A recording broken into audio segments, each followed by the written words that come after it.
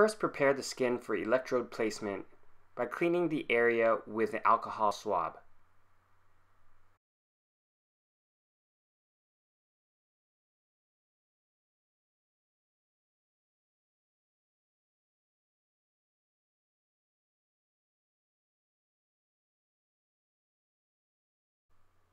Apply the electrodes on the skin in a direction parallel with the muscle fibers.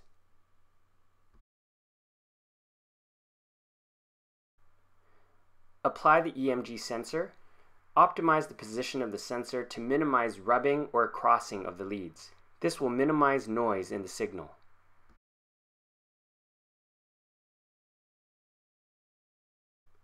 Some tape can be used to stabilize the leads against the skin and minimize movement.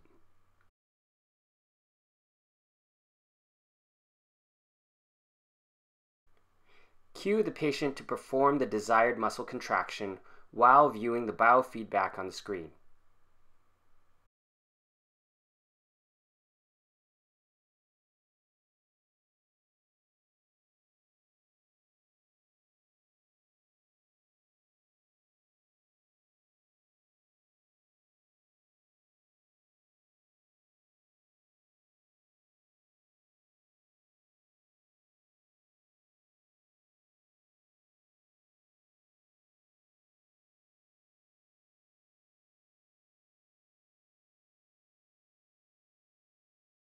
When the training session is complete, gently remove the electrodes. Carefully peel the electrode away from the skin using the hands to pull the skin away from the electrodes. And check the condition of the skin.